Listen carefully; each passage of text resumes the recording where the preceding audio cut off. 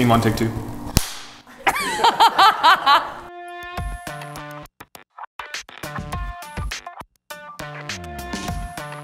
For me, I'm very much about comfort, and I don't want to feel like I'm wearing shoes.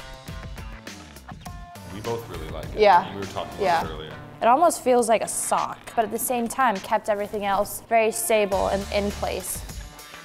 I've liked them all for different reasons, like my children, um, which I don't have. But, but no, I, I really like the eights. Anyone at Reebok will tell you I'm very picky with shoes. I mean, I've only had them for a week, but I didn't even have to break them in.